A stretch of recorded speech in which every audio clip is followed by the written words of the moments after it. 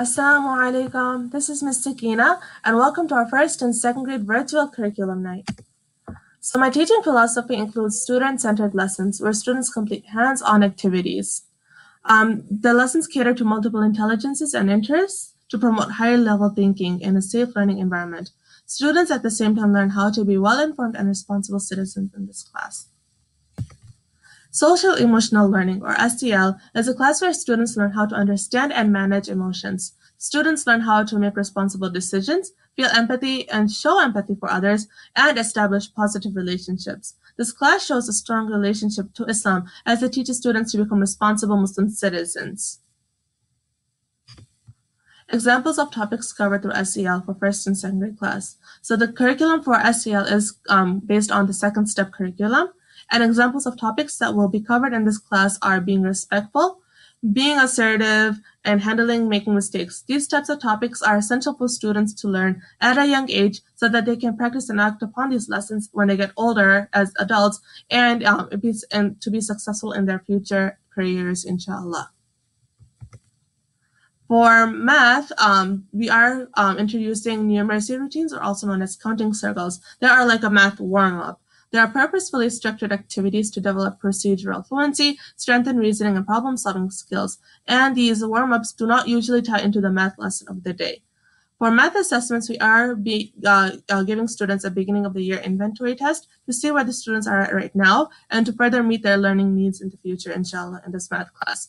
We do give pre-assessments uh, before each unit and a summative assessment at the end of each math unit to uh, learn more about what students have understood over the unit and um, to further um, provide support or challenge them if, uh, based on their needs.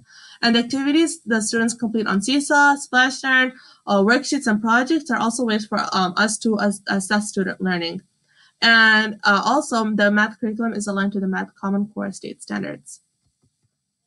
So for the first and second grade, the math curriculum topics overall include operations and algebraic thinking, number and operations in base 10, measurement and data, and geometry. So the uh, topics do advance a little bit more for the second grade class.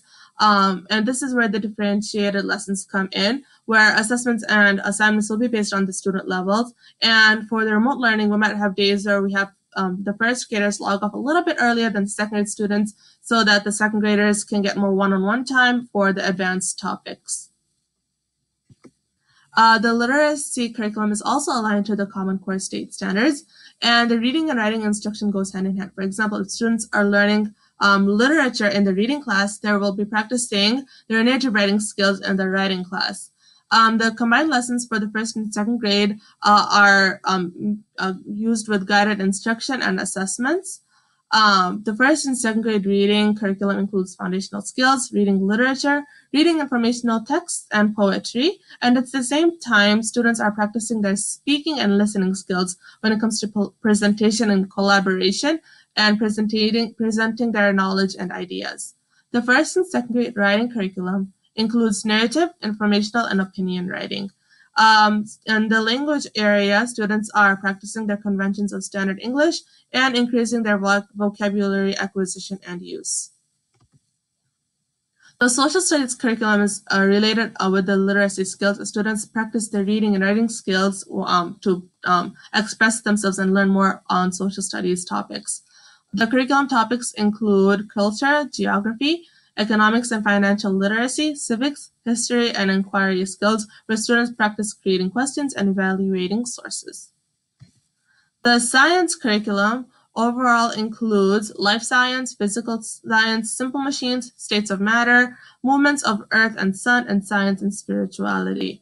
So science is a very uh, good class for um, us to allow students to make connections with science and Islam, to allow students to understand the world around them, and to build a stronger, help them, to help students build a stronger relationship with Allah subhanahu wa ta'ala.